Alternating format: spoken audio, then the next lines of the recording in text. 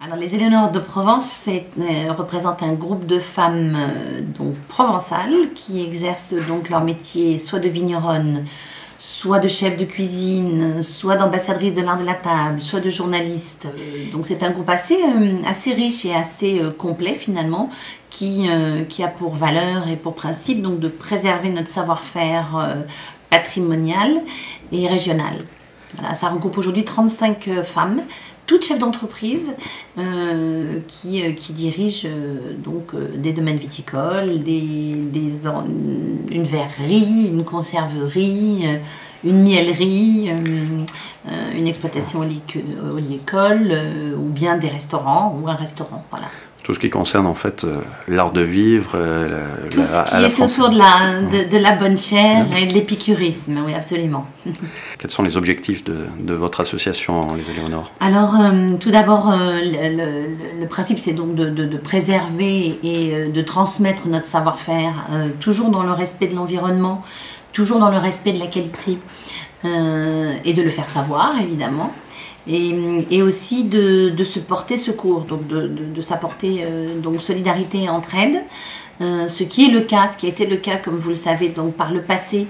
Euh, lors, lors des inondations donc, de la Dracénie, donc on avait prêté main forte à notre amie Adeline de Barry du château de Saint-Martin que vous aviez avec Unique Télé très très bien suivi du reste.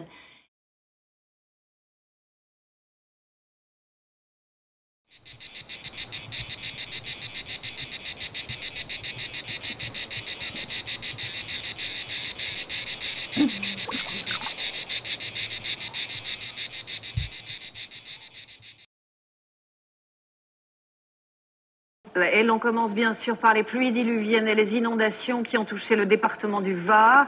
Euh, le bilan est très lourd, 15 morts et une dizaine de personnes portées disparues. En fait, la région s'est retrouvée sous des trompes d'eau. Le phénomène a été extrêmement rapide, spectaculaire. Ce matin sur place, c'est un paysage de désolation. Elle a creusé, elle a fait une... Euh... là, il y a quoi? Il y a deux mètres? Ouais, il y a 2-3 mètres, je sais pas. Mais, euh, Et là, bon, c'était un terre-plein plat où euh, les, scouts venaient poser leur tente. Puis ça, tout ça englouti, parce que les vignes, elles arrivaient jusqu'ici, en fin de compte. Le champ était parfaitement rectangulaire. Et c'est là où euh, il y en a déjà pour 10 000 euros, rien qu'à essayer d'enlever ce qu'il y a dedans. Et, on avait donc récolté des fonds de manière importante pour, qui ont été donc offerts aux sinistrés de la Dracénie. Donc ça c'était en 2010.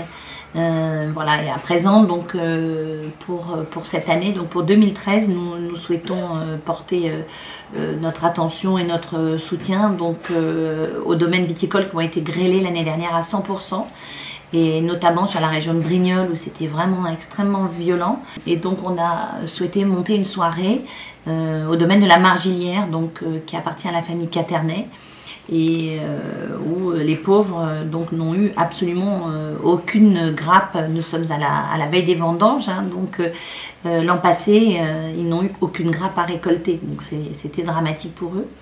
Et cette soirée donc va avoir donc ça, c'est une mise en lumière autour de la margilière, mais les fonds récoltés seront au bénéfice donc des enfants hospitalisés par le biais de l'association au profit de l'association Nez Rouge qui sont donc les clowns qui, vont, euh, qui permettent de redonner le sourire aux enfants euh, à l'hôpital. Alors, qu'est-ce qu'on peut faire pour, euh, pour vous, pour les Éléonores, dans le cadre de, de, cette action Beaucoup de choses.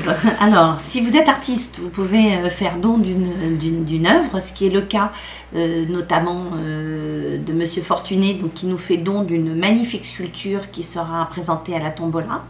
il y a donc le don des Éléonores, donc de, de, de l'eau d'hiver, euh, donc comme des séjours dans les domaines viticoles, comme des magnums ou des jéroboams à gagner.